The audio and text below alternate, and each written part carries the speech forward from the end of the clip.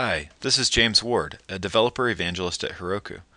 So JetBrains has released a new early access program for the IntelliJ IDEA 11 product that now supports Play Framework. So I wanted to show you how we can get start using uh, the Play Framework support in IntelliJ. So let's go create a new application with Play. And let's go into that. And now I can just do the Play IDEA and now it's actually created a new module for me that now I can use in IntelliJ. So let's go over into IntelliJ. This is using the uh, 110.187 release. And I'm going to go create a new project. And I'm going to just say create this from scratch. And now go in and point it to that directory that I specified. So let's go specify that desktop foo directory there. And now I'm not going to tell it to create a module, so I'm going to deselect that option there. So now this will create the new project in IntelliJ. And it's going to pop up this dialog to, to add a new module. I'm going to cancel that because I'm actually going to import the module uh, in here. So uh, let's go to um, new module.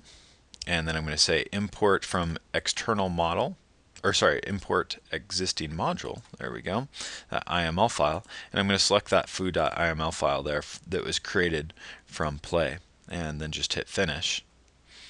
So now my project's all set up in IntelliJ, and that looks good. But in order to actually now use uh, the Play support, I can just go to Tools and then Play with Play Framework. And so now, uh, once this finishes indexing this project, we'll get the, the play support button down here. So now I have the play console here within IntelliJ. In order to get that to work on Linux, for some reason I had to make a, a small change to IntelliJ.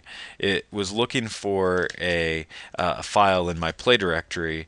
Uh, it was looking for play.sh, and all I had was a play file. So what I did was I, I symlinked the file. So if we take a look at play.sh, that's just symlinked to the play file there. So it's one small change I had to make to get that working. Uh, but now everything should should work just normally with Play. I can do Play Run.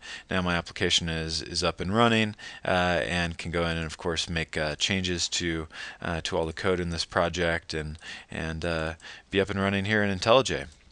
So you can see they've even added some support here uh, where you can navigate straight to the view from uh, from one of the uh, static uh, methods in a controller. So really, uh, really great that IntelliJ is now supporting Play Framework, and that's how you get set up and uh, start using it. Thanks for watching.